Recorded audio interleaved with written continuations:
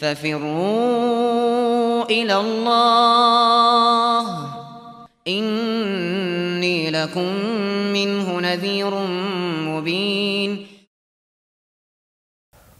Apakah orang yang berucap kekafiran dipersyaratkan adanya lekas maksud? Sebagaimana orang yang mendapatkan untanya dengan berucap kekufuran. Itu memang dari syurut takfir, dia harus memaksudkan. Ya, kalau dia tidak ada maksud dalam hal itu, salah ucap misalnya, nah itu dimaafkan untuk orang yang seperti itu. Baik.